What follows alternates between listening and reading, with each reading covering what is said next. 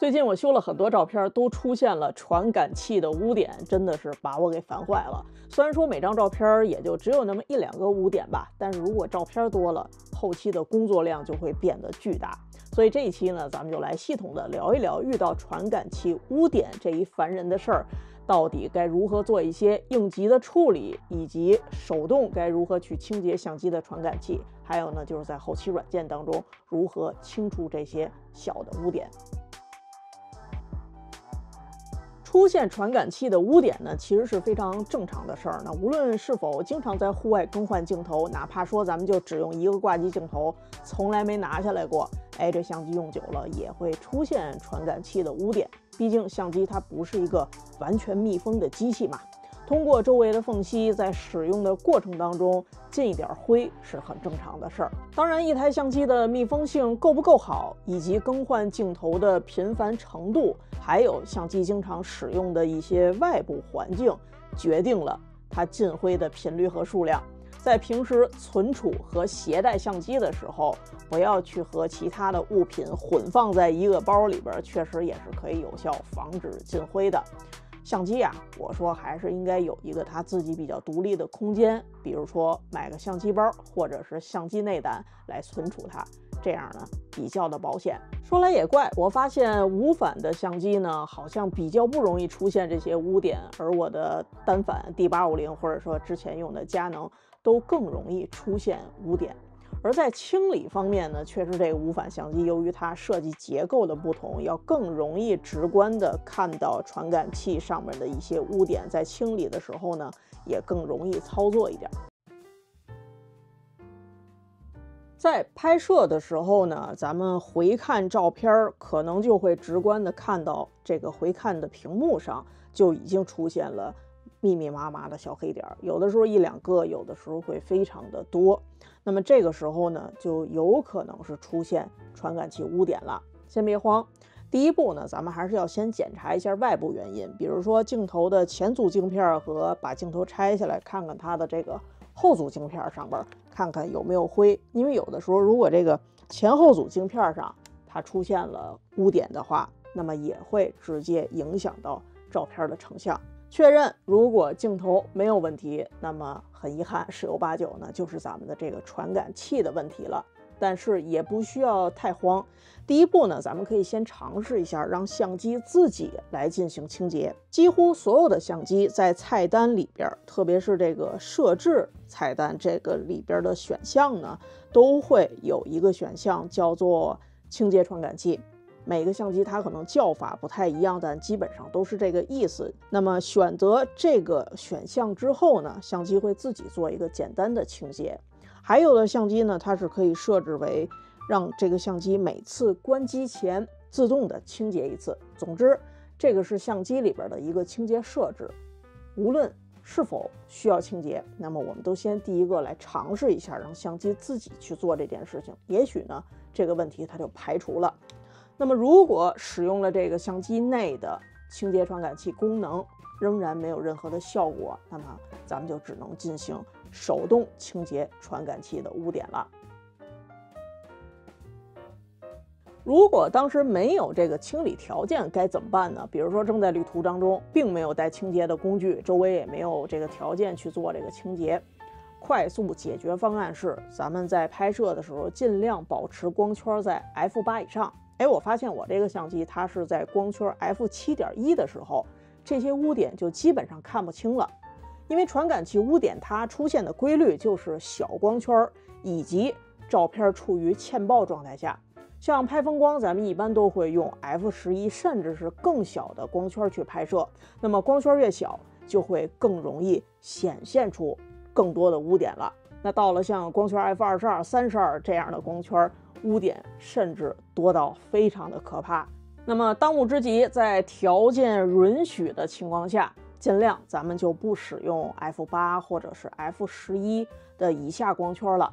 那具体它能用到多少，那就要看咱们这个污点的数量和大小了。总之，前期少一点污点的话，那咱们后期的时候就会减少很多的工作量了。如果是一两张照片，这没什么的；但是如果是延时，那可就惨了。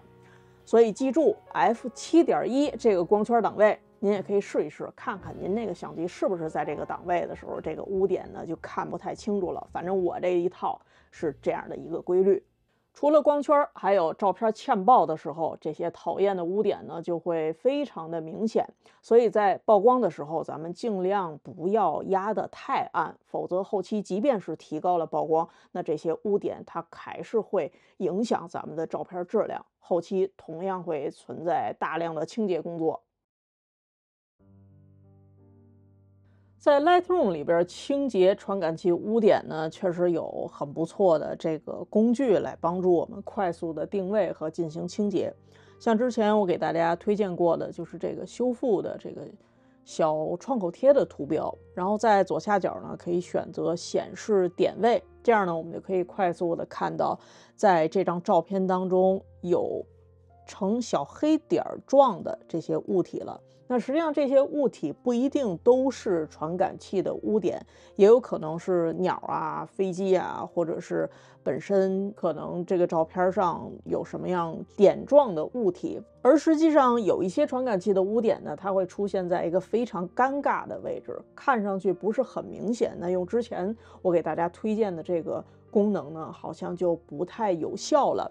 比如说这个污点，可以看到像一个水点儿。其实我也不太确定这个到底是传感器污点，还是当时我在河边拍摄的时候，河边的水溅到了我的镜头上。总之，我所有的照片都有这个黑点儿。尽管是同一个照片，在不同的时间段，你看，像这个接近日落的时候呢。这个污点的位置就会变得很尴尬了。有一部分云穿过了它，而天空呢？所以如果使用这个 Lightroom 自带的这个污点去除功能，有的时候它出来的效果呢就不是特别的好。因为实际上它这个功能还是通过这个软件自动来判断在这个区域内有什么样的内容，然后它会在就近的位置呢寻找一个和这个内容他认为比较相近的。然后帮我们拷贝过来，那么就非常有可能不太符合我们想要的这个结果。所以，当我们在这个 Lightroom 当中发现它的这个小创口贴的修复功能不好用的时候，我们就要果断的切换到 Photoshop 里边去去除这个污点了。那么在这方面的处理呢，确实 Lightroom 就比较的有限了。现在呢，我在 Photoshop 当中打开了这张照片，咱们看一看 Photoshop 处理的效果怎么样。据我的这个使用经验来讲，我认为 Photoshop 它的识别要比 Lightroom 好很多。但是大多数的情况下，Lightroom 都能满足我们的需求。只是说在遇到这样非常非常特殊的情况下呢，我会推荐大家使用 Photoshop 来进行清洁。像这张照片，以同一个污点为例，如果我选择 Photoshop 的污点去除的功能，这个功能实际上和 Lightroom 是完全一样的。它把下边也拷贝了。那我把我的这个取景的范围稍微的小一点儿，哎，你看这个效果是不是比 Lightroom 要自然不少？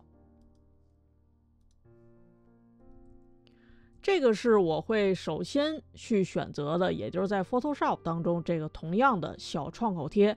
你会发现这个创口贴在 Photoshop 里边一共有三个。第一个实际上就是它的点位去除的小笔刷。当我们想要去除小面积的这种污点的时候，那这三个创口贴当中的第一个，也就是点去除这个笔刷，相对来讲要更好用。那如果这个笔刷它不好用了，第二个，我会选择这个虚线的这个工具。这个工具它比刚才那个笔刷的好处是，它可以自由的选择想要取样的位置。首先呢，选择这个工具之后，我们的这个鼠标就变成这个样子了。然后我们在想要去除的这个污点周围呢，画一个圈儿，然后它就变成虚线了。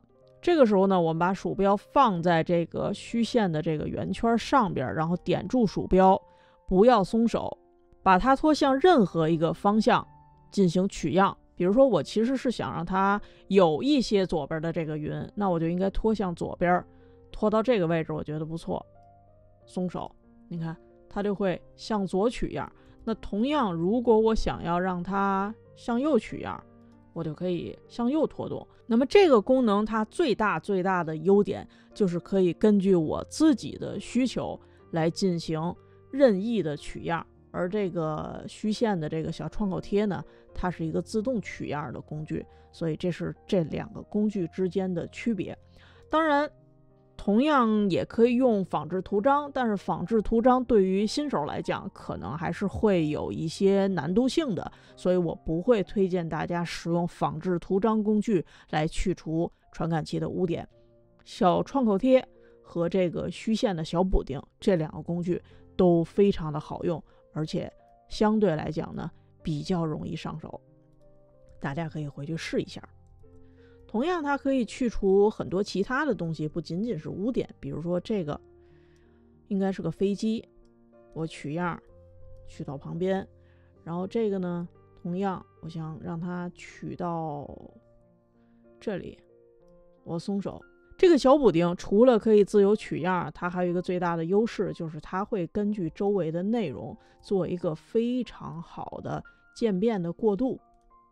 也就是说，我们选择这个小补丁，虽然周围很生硬，但是它修复完成之后，你可以看到它是完全没有一个生硬的周围的边界的。所以呢，它会自动的判断周围的颜色和内容，帮我们做一个更自然的平滑过渡。所以我特别特别喜欢使用这个小补丁的工具。为了不让下次的拍摄出现同样的问题，我觉得还是做一下手动清洁传感器啊。会比较的保险一点。清洁工作呢，最好不要在旅途当中去做，带着清洁液也挺麻烦的。我一般会在出发前做一遍整体的清洁，就是把我所有的相机镜头呢全都清理一次。那如果在后期的时候，我发现两个以上比较明显的污点，那这个时候呢，我就会提前做一下清洁。平时换镜头的时候呢，还是要小心一点。首先，第一步呢是定位这些污点。在清理传感器的时候，我会看着照片来做一个参考，因为这些污点呢，有的时候是用肉眼很难看到它在传感器上什么位置，所以要参考屏幕上这些污点的具体位置呢，我就会知道该着重的清理传感器的哪里了。在这儿呢，需要注意一点，照片上污点的位置。和我们传感器上的位置是相反的，左右相反。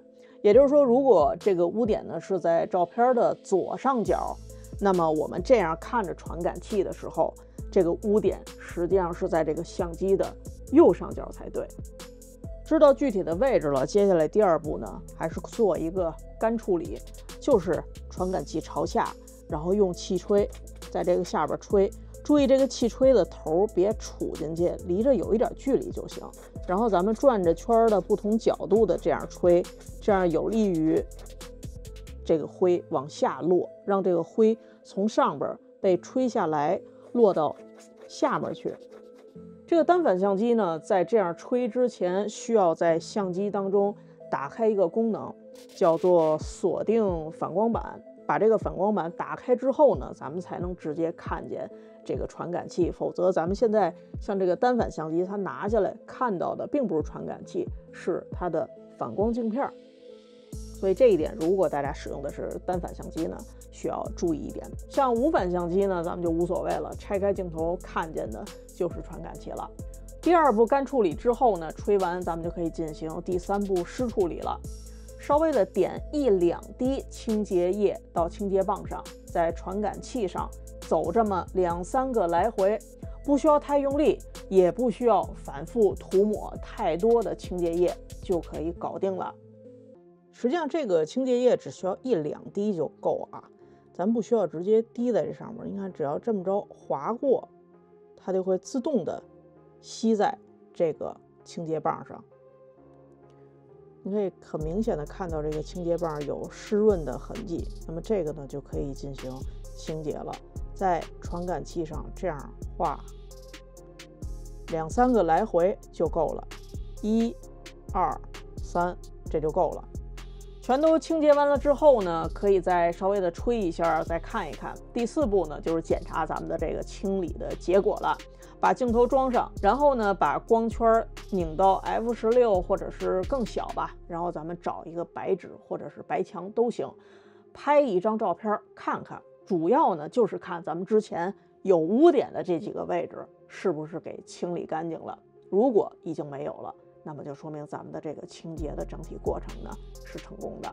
那如果发现这些污点还在，那就说明咱们刚才啊没清干净。再重复刚才的这个步骤：第二步干操作，第三步湿操作，把这两步呢再重复一遍，看一看效果。在这儿呢，可能您会遇到一个问题，那就是拍出来照片啊，一条一条的小黑条。哎，我也遇到过一次这个问题。这个呢是说明清洁液用的太多了。这个传感器咱们清洁的时候走的这两个来回，由于它水水太多，然后干了之后呢，出现了几条水渍。所以说这个清洁液呢，不要用的太多。在使用清洁液的时候呢，其实就是本着把咱们的这个清洁棒给它润湿了就行，不要让它是一个干擦，在传感器上可能就会出现划痕了。只要把这个清洗液滴在这个清洁棒上，然后您看到这个清洁棒，哎，它是有那么一点湿润的，那么就可以开始进行清洁的工作了。不需要是这种水淋淋的特别多清洁液，一定要注意这一点，否则呢就会出现一条一条的横杠了。